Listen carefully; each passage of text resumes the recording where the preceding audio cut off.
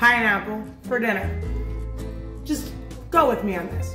You like Hawaiian pizza? Like the ham and pineapple on pizza because it's that salty and sweet? We're gonna do Hawaiian chicken. And this is my play on it. So if you don't like it, don't do this recipe. But if you do do it and you do like it, I want you to tag us, put a picture, just send it to me in the DM. It makes me like thrilled when you guys try our recipes. Chicken thighs, marinating in Dijon mustard, fresh lemon juice, garlic, adobo, salt and pepper.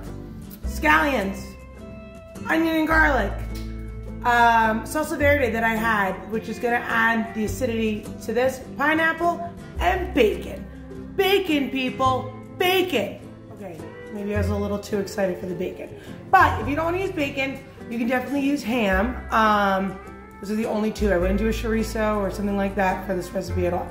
The goal is salty, a little acidity from the salsa verde, sweet. We're gonna try this up really nice. And we're gonna make this like salsa and we're gonna pan sear our chicken thighs, both sides in a little bit of butter. We're gonna put it in a dish. We're gonna top the sauce, a little Parmesan, a little breadcrumb, and we're gonna pop it in the oven. So it's like a casserole. We're gonna call it Hawaiian chicken. I like the idea, so we're gonna do it. Let's go. Pineapple. A lot of people say, how do you know if it's good? How do you tell it's fruit? Well, cantaloupe, you wanna go with like the weight and you wanna like tap it. Pineapple is the bottom. See how nice and yellow it is? I bought it, it was not this nice and yellow. I left it out. Do not put your pineapple like this in the refrigerator, it will never ripen. To get the top off, take two hands and hold it down. Just pop this off. See that? Now, if you're in the catering business or you're throwing a party, don't throw this out. Cut it, put it in the middle of a platter for fruit. You know, you do it like the little banquet centers used to do, use that, but we're gonna discard it. I'm gonna show you how to clean the pineapple now so that you get the best yield out of each piece of fruit that you have. A lot of people do not know how to clean pineapple. You can use this method on pineapples, cantaloupe, honeydew, whatever. I'm gonna teach you how to clean a pineapple. Put it down the side, cut the top off, turn it around, cut the bottom off. You want a flat surface to work. Do not work with anything that's rolling around because that's gonna happen and we're gonna have a problem. You're gonna take your knife, you're gonna guide it down the side of the pineapple all the way. See that? Got yourself another line. Same method, gonna guide. Guide it around, slowly turning as you go. You're not gonna, might not get it the first time. It's okay. You're gonna take your time, do it again. You see how thin my strips are? There's not a lot of pineapple on there because I'm leaving the pineapple on here. Look at that. Woo! Pineapple! Discard this. I'm not throwing it on my people. I have a garbage right there. Um, I have a bowl so when I put my uh, chopped pineapple. So, cut your pineapple straight down the middle. Now, there's a pit. I cut my pineapple on an angle and I put it here. So all I'm taking out is that pit. Well, it's on pit, more the core. You can eat the core. I don't like the core. It's very fibrous. Um, some people like the core. So once again, turning. I got my knife half stuck in the core. There we go. Taking the core out. Now, I have four pieces of pineapple. I am gonna cut it like this, and then in half, so we can do a nice, gotta cook, cut it a little bigger than you actually want it because when it cooks, it's gonna cook down. Mm, perfection. So we cut that pineapple. Now we're gonna cut an onion and some garlic and some scallions. Um, we're gonna do the sauce first because then we're gonna sear the chicken um, in a separate pan. I'm gonna let the sauce go because it needs to cook down. Let me let me reword that one for you. The reason we're doing the sauce first is because I needed to cook down and I can sear the chicken in a different pan while that's cooking down. So we got our onions here. I'm gonna do some garlic. Use that bowl again. Um, um, I'm thinking this might come out good. I mean, it's funny to say that because you're like, well, Lauren, why would you make dinner if you don't think it's gonna come out good? Because sometimes it's trial and error. Sometimes it is trying out a new recipe. Well, I don't even call it a recipe. I don't know anyone else who's done it, this method, so It's my Hawaiian chicken. Chef Covas's Hawaiian chicken. Do you have your pan on? I have my pan on. Put a little oil in it. And we're gonna get nice and hot. You know it's hot, obviously, when the water, the water, the oil shimmers nice and smooth. Um, bacon.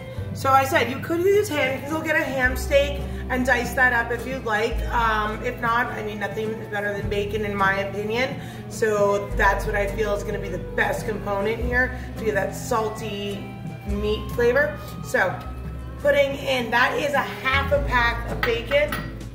Around as soon as it starts to sizzle. A half a pack of bacon uh, diced. And I just put a little oil in the pan just to get this going. And this is gonna start to render down. As soon as it's rendering down, we'll build our sauce. I have my onions and garlic um, that I'm gonna add in after. I have my pineapple, which just so you can see, nicely diced. We're ready to rock and roll. Got our bacon, high heat. We're gonna constantly keep moving it. See how it starts to fold up on the edges? That's because the fat's starting to cook out of it. And that's what we want. We want the fat in the pan because that's gonna help build our sauce. And crispy rendered bacon is the best. Now, if you want to garnish with some crispy bacon after you get it all cooked down, take some out, keep it on the side. You can garnish your dish with it, which I think I might do. Um, and you can just rest it on a paper towel and that would work. I want to show you what crispy bacon looks like. Whoa, popping. Okay, what's popping? We're gonna add in garlic and onions now. Use a spoon Get them all coated in that fat. And get this cooking down now. Keep it moving. This will cook fast because that bacon fat is super hot right now. Our bacon, onion, garlic all cooked down. Now we're going to add our pineapple. Now, that sugar that's in the pineapple is going to get released once it starts to cook. And we did a bigger dice because um, when you cook it down, it's going to start to shrink shrink. It's to lose its size. Um, but we're going to coat this. The smell. And this pineapple was really ripe, so it's like perfect for this recipe. I'm really excited, guys. Like really excited.